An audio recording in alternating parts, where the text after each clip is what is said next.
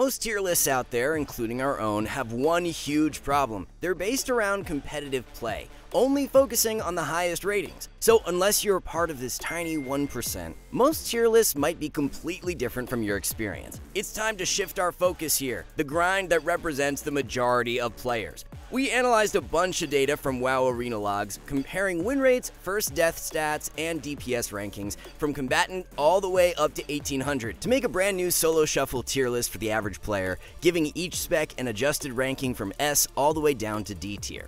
Now, unfortunately, most ranged DPS are much harder to play at lower ratings. Warlocks and Boomkins have absurdly high death rates, and in most lobbies, being a caster automatically makes you the target. In the world of micro CC craft, this isn't very fun. As a result, we have to shift the majority of our range specs down, with a few exceptions. But not to worry, because there are at least three specs which are still S tier at lower MMR, including one that might be sleeper OP. Despite some recent defensive nerfs, we still think Marksmanship Hunter is arguably one of the best ranged DPS for any casual player, especially if you want to do more than just solo shuffle. Even in Battleground Blitz, Hunter is an absolute menace and is definitely a spec that can solo carry. Marks has some of the highest impact burst damage in the game, which players at lower ratings are less likely to avoid. We know from over 10 years of teaching WoW PvP that simply doing more damage than your opponents is the most effective way to climb. That's why our class courses are so insanely OP for gaining rating, because they teach you the fundamentals needed to actually reach your potential in easy to follow guidelines that you won't find anywhere else. Skill Capped is our name for a reason. We have almost 15 years of experience teaching WoW PvP to over half a million players, helping them reach their rating goals season after season faster than the competition. And no matter what, we will back you up with a rating gain guarantee, where we promise that you will see rating gains while actively using our website. We even offer a 14 day, no questions asked money back guarantee for those of you who just want to try us out. So, after this video, be sure to click the link below for an exclusive discount to get started. For now, back to the tier list.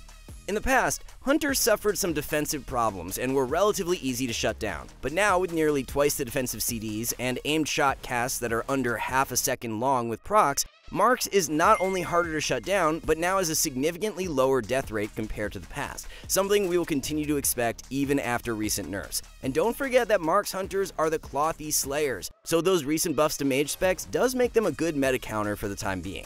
Despite a relatively slow start to the season and some recent damage nerfs too, Beast Mastery Hunter is still a good option for most players across all ratings. Up until this point, BM has had one of the highest win rates in the bracket, while also one of the lowest death rates. This data helps justify the suggestion we give every single expansion, that BM Hunter is consistently one of the best specs for beginners, and now is even easier to play since you're rewarded for just sticking to one target all game and tunneling it down, a strategy which is quite popular at lower ratings. Devastation Evoker is one of the only specs which we actually think gets proportionally better at lower ratings. If we quickly check rating distributions, an absurd amount of Dev Evokers managed to climb to 1800 even compared to other meta specs like Unholy Death Knights, where far fewer players proportionally reach these ratings. One easy explanation for this difference is burst damage, where Evoker ranks number one by a huge margin. Just like Marks Hunter, Evokers are one of those specs which can simply win the game in the blink of an eye, with exceptional burst damage that is less likely to be countered at lower ratings. Remember, if our goal is to solo carry, we're going to need some big damage and devastation checks every box as a true damage threat, with the right amount of burst to actually win games alone, all while being relatively forgiving as one of the tankiest casters in the game. Despite their popularity at higher ratings, we think that Affliction Warlock moves down half a tier for the average player, for a few reasons. The first being that it has the highest death rate in the game, while also having a relatively weak win rate up to rival ratings. Now, despite the fact that Warlock got a recent buff to their passive defense, Affliction might continue to suffer from getting trained. If you aren't good at fake casting for precog, you might not have the best time. Couple this with the fact that Affliction recently got some massive nerfs to its win condition, it's going to be a bit harder to solo carry compared to the past. Despite this, we think the Warlock class is overall pretty strong. But right now, Destro simply falls behind in both sustained and burst DPS, losing out to Affliction in both categories. The saving grace is that it is the Warlock spec that needs to cast the least, having the overwhelming majority of its damage coming from instant cast when playing the standard Hellcaller build. So from a mechanical perspective, Destro is actually the easiest. Demonology is a total wildcard since it not only has a small sample size in the data, but until recently had three different bugs that were causing reduced pet damage. Yes, that's right, Demo had been bugged the entire first month of the season. And after some buffs for the third time in a row, Demonology is looking quite promising. But before you get too excited, even if Demo winds up being OP, it might not be best for beginners, since these days it has to hardcast far more than any other spec in the game, and is a really easy target to bully for any melee cleave. Moving on to mages, we think Frost absolutely gaps both Arcane and Fire up to 1800.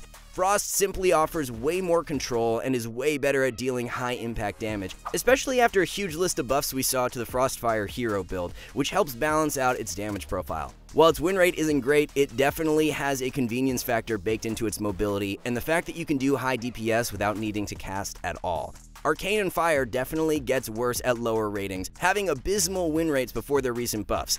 As far as Arcane is concerned, this really doesn't surprise us. We think this spec will feel a bit jarring to play for most players, since it's incredibly challenging to play. High-rated players sometimes make this spec look easy, but if you don't have great game knowledge and mechanical skill, Arcane might feel a bit lackluster.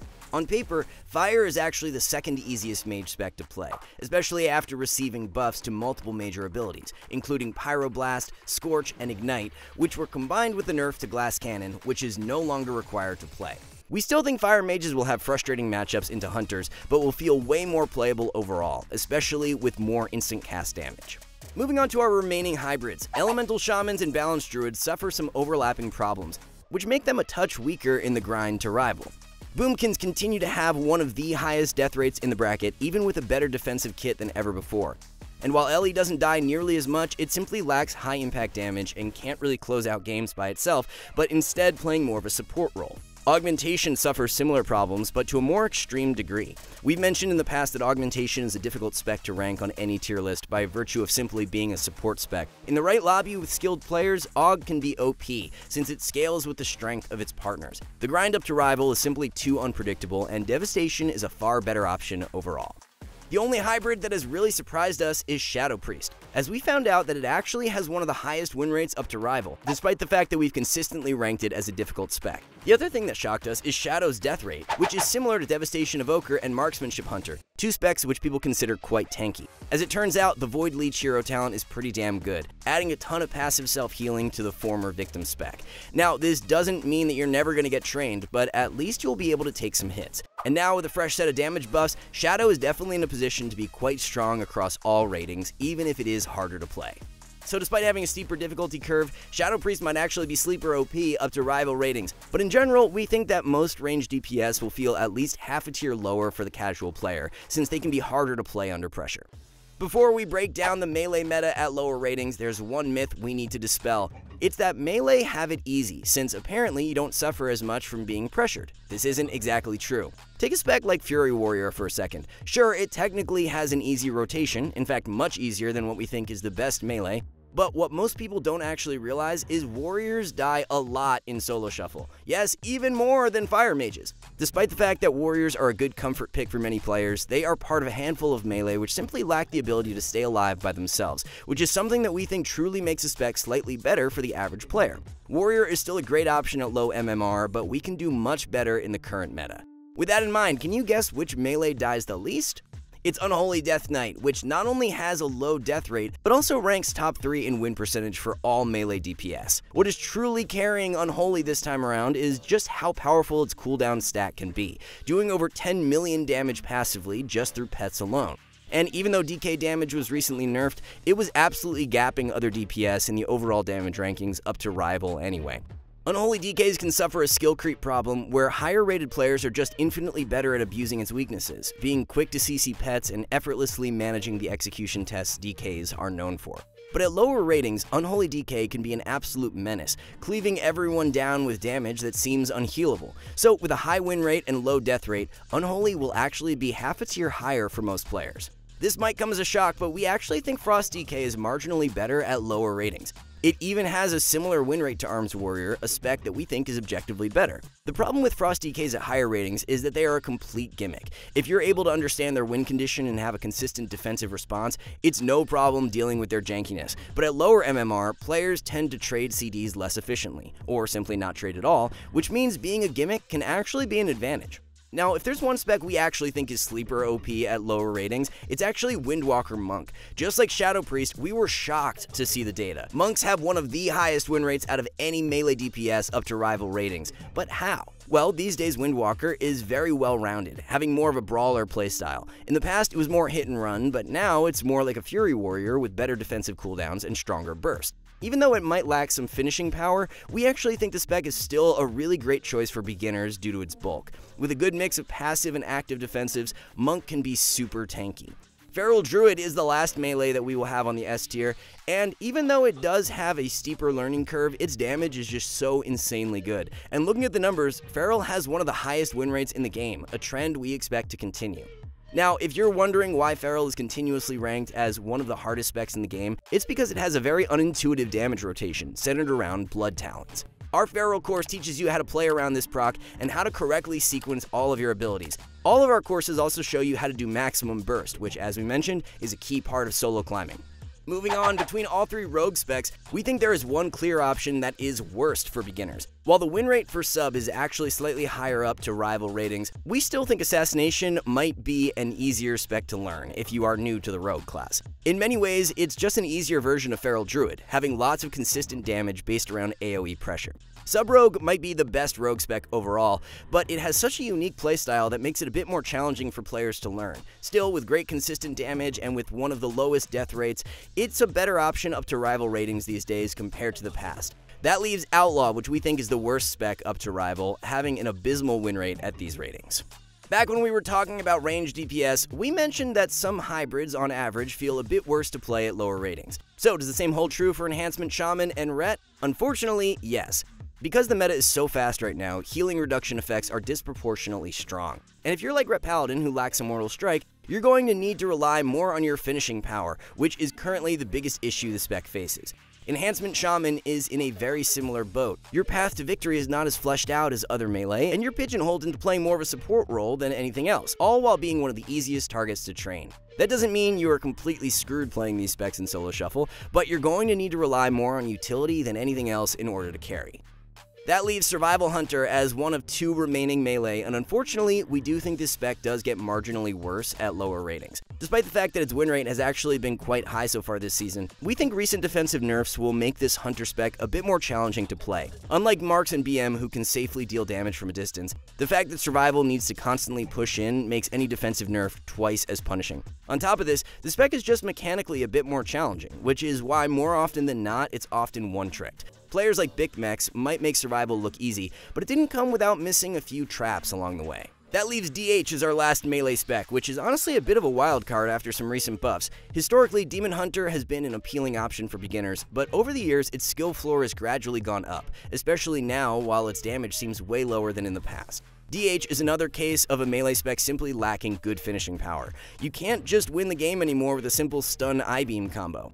That brings us to our adjusted rankings for melee DPS. Warriors are definitely worth monitoring for now, as recent defensive buffs could actually help their survivability issues, and with any future damage buffs, we could definitely see arms make a giant comeback. Overall, though, the shift in melee performance up to rival ratings isn't quite as dramatic as what we saw with ranged DPS.